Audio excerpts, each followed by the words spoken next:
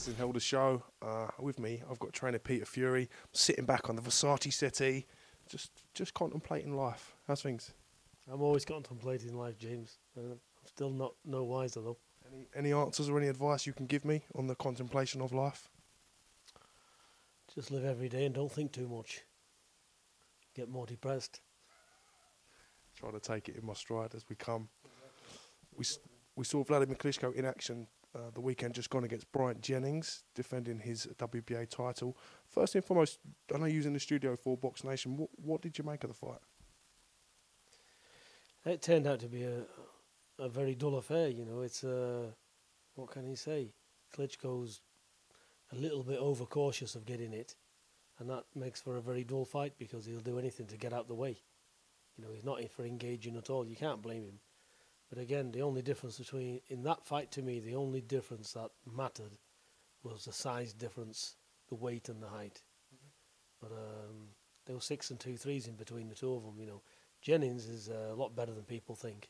He's a he's a decent fighter, but you know he just couldn't negate the difference in the size. He couldn't handle the jab, and he just got frustrated, and he had no plan B. You know, he did try. He tried all of his uh, options. He tried coming forward. He tried doing everything he could, but Klitschko was able to nullify everything he was doing. So, uh, but it, it turned out to be, it wasn't his best performance to say the least. It was a boring affair. Every time we see Klitschko fight in America, he gets a lot of stick for the performance. Do you think that was duly granted for his performance against Bryant Jennings? I do, yeah, because it's a world title fight. You know, when, when Tyson comes to fight, there's, there's no way I'm going to get in the corner. We're going to leave our families for four months, you know, train in the wilderness to come out and do a stinkfest. I'd rather I'd rather see Tyson fail and put up a hell of a fight for the fans rather than come out and do that. You know, it's not just all about the winning; it's about how you do it. So for me, there's one thing for sure: we're going to have an exciting heavyweight fight because Klitschko's going to have to fight in this fight. You know, he's not going to be able to box and just use that jab and keep Tyson at bay like he thinks, like he's done with everybody else. Because uh, no matter how they train and whatever they do, that's not going to happen. The height difference plus like the 20 pounds in difference between Vladimir Klitschko and Bryant Jennings obviously played a huge factor in the fight, as you said. Tyson Fury, he, he, Tyson Fury's taller than Vladimir Klitschko, and I'm presuming he won't be giving away much weight to him once this fight goes ahead. I think that the size difference and uh, the weight between the two, Tyson's got a slight advantage in height. I think he's about at least three inches taller, and um, the weight he's probably probably around ten or twelve pounds heavier. Tyson, 'Cause I think Vlad he comes in around 17.5, 17.7. Tyson always weighs in around 18.5, 18.7. So there are advantages there. But look, when you're boxing people this size, you know, the six and two threes in it. So uh, it isn't really going to matter that much. But one thing does matter: Klitschko will not have the advantages he's enjoyed against the opponents of the past, because now he's fighting a guy who's as big, if not bigger than him, and um, a box of tricks compared to what he's been fighting in the past. Vladimir spoke in the post-fight press conference. He mentioned Tyson Fury, so he's making all the right noises for the fight. I read on some forums, uh, Mick Hennessy Frank, and Frank Warren are potentially looking for September kind of time. Can you shed any light on that? Yeah, I spoke to Frank, and uh, Frank's optimistic of making this fight. Uh, so's Mick Hennessy. And um, I think you're looking September, October. October the latest. I think it's uh, going to be early October or early September. It'll be one of those two. We saw Klitschko fighting in America, as I said, a fourth time he's appeared in America. He's yet to fight in the UK. Do you think Tyson Fury, this could be the fight that brings him to the UK? Because realistically, he's probably going to make the most amount of pounds in the UK if it was staged here. Do you think he's aware of that? Yeah, I think so. The business people, and I think it makes sense to f- for them to fight in the UK. It's a massive fight over here. Bigger, bigger over here than what it can be in Germany or anywhere else in the world. You know, we've got the UK fight fans are, are passionate. It's a big boxing country in, in the UK, and I think it's a fight that needs to happen here. Klitschko's never fought here as well, and I think he's out to make statements. He's coming to the to the last of his career, Klitschko, and I think um, he'll definitely be wanting to have a fight over here. And I think against Tyson, it's uh, the perfect opportunity for him. 18 fights now, title fights in a row for Vladimir Klitschko. He hasn't faced anyone like Tyson Fury, but having said that, what what do you think Tyson can do different that the likes of Jennings haven't been able to do thus far. Well, I'm not going to take anything away from Vladimir Klitschko. He seems to be able to do enough. Like you said, 18 defences, is it? He's a serious man. He's, he's the best in the world. He's up there. And he's earned his right.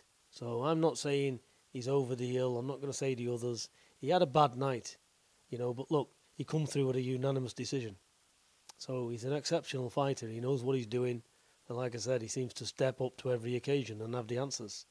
So uh, this is a tall order for Tyson. And um, make no mistake, I'm not underestimating anything about Klitschko. So this is going to be the fight of Tyson's life. You've seen about four or five gears maximum of Tyson. He needs to use a 10. So he, he needs a better performance than what he's ever done before. He's fighting a better man than all the opponents he's faced in the past. So this is a big test, but a test I'm confident he can come through. And what, there's no way we're going in there half-hearted, expecting to lose because totally the opposite. I am convinced 100% that Tyson can do the job. That's not to take anything away from Vladimir. He's a serious challenge. And, um, you know, and if Tyson does win, and he wins that fight, then Tyson shuts everybody up because then he's earned his right as the best heavyweight around today. And that's where we're going. What do you think Vladimir Klitschko will be thinking right now? Would the Tyson Fury fight be the most appealing fight in the division? Obviously, there's talk of the unification fight with Deontay Wilder. He's got the WBC belt, but surely at the moment, Tyson Tyson Fury Vladimir Klitschko has got to be the hottest fight in the heavyweight division. You know, of course it has. You know, I was speaking with Tyson only yesterday, and Tyson said, you know, we get past uh, Klitschko, we'd like a unification fight with Wilder. And I'm sure Klitschko's exactly thinking the same thing. You know, get Tyson out the way, then he's got Wilder. And we're in the same opinion, you know. You know, he's up there, Wilder. There's only Wilder and Klitschko uh, right now, so they're the fights. So, um, you know, God willing, Klitschko, he deals with that and um, he defends straight away against Wilder. So that's that's where we are. That's the fights we're looking at. What will be the case for the training camp then? Obviously, we know you've got fantastic facilities in Bolton at the Platinum Community Centre. You've also got fantastic facilities in Cairns. Will you be taking Tyson Fury away? Will he be in the UK for camp? What? How will that play out?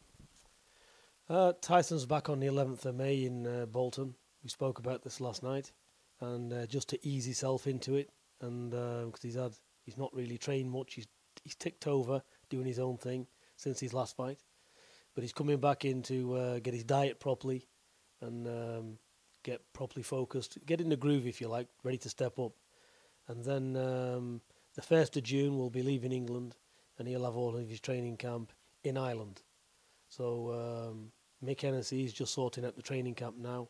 So that training camp is more than likely to be in Southern Ireland. So that's where we're going to be for the whole four months. Reason being, you know, he's got to dig deeper than he's ever dug before. He's going to get totally murdered in the gym. You know, he'll go through hell Tyson. And uh, because I don't take chances. So this is a fight of his life. He'll have to train for his life. It's as simple as that. And I require total dedication, focus, dedication. And for me to get that, there's no room for families, wives, kids, nothing he's going to take four months out of his life, just like I am with my family, and we are going. He's going to live a Spartan life because I'm going to send him in there to do a demolition job, not just to win the heavyweight world championship, but to make a proper fight of it. And that's what's going to happen. We're not going to see a jibber jab contest. No, it'll be a it'll be a full on. People will get what they're going to get paid, what they're paying tickets for, and viewing figures. They'll get a good fight out of it. I think Tyson Fury sometimes his ability is downplayed because he's so big. He's he can fight orthodox. He can fight southpaw. His movement, his foot movement, his head movement is very good. He does things that sometimes heavyweights are not expected to do. Do you think sometimes people miss that that side to him? I think it's a little bit irrelevant what the Joe public thinks about it because they're not really boxing analysts or boxing experts. They can only look at what they see, and you know, it's like looking at a truck, isn't it, doing 70 miles an hour a HGV truck. It looks like it's crawling from a distance. And you'll see a Mini at 70 mile an hour. It looks like it's flying. It's no different when you're looking at a ginormous guy in the ring. But what people need to understand is the speed of Tyson, the actual footwork, and everything else is exceptional. The only person who will not be underestimating Tyson is Vladimir Klitschko because they're very clever. He's an astute individual. That's why he's where he is. That's why he's got where he is. And uh, he knows what Tyson's got. He knows Tyson is the most serious threat to his throne. So I expect Klitschko will be training out of his skin for this fight because it's a serious threat. All right, well, we look forward to hearing some further announcements in due course with that fight. I'm sure Mick Hennessy and Frank Warren are working hard to find to put everything together and get it put on paper, so to speak. Yeah, they are. They're working round the clock. You know, um, it's all down to Mick. It's down to Frank Warren as well, and you know, they're doing their job. They're appraising me of all events. I'm, I'm, I'm overseeing everything. Obviously, it's my nephew, so um, everything's getting run past me. Do you agree with this? Do you agree with that? So basically, yeah, I'm happy what they're doing, and I've just said, look, get on with it and make the fight. I've got enough to do, training the fighter and getting him ready for the fight i.e., his food, his conditioning, the strategies in place. That's a full time job. You need a team. It's not just about me, it ain't just about Tyson. It's about everybody in this team. You know, one man's no good on his own. You know, I need help. Can't do a thousand jobs. You've heard the saying, jack of all trades, haven't you? You know, I, just want need to concentrate on what I can do. And, you know, t- for me to concentrate, I need good people who's got me back, people that I can trust, you know. And in this situation, we're very, very lucky. So I'm happy. It's all it's all ready. Everything's flowing. We're ready to go. Speaking of